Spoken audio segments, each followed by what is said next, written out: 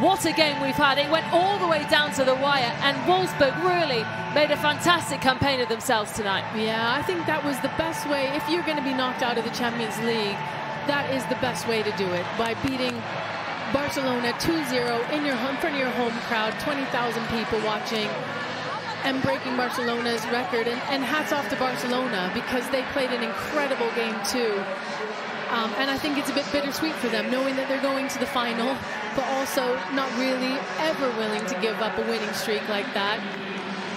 But again, this Wolfsburg team, even the fact that they've come this far, I think a lot of people are really impressed. Again, they're in a they're in a building phase. They have a lot of young players. They don't have a lot of experience on that pitch. And you can see it in some moments. So what a game, though. What a game.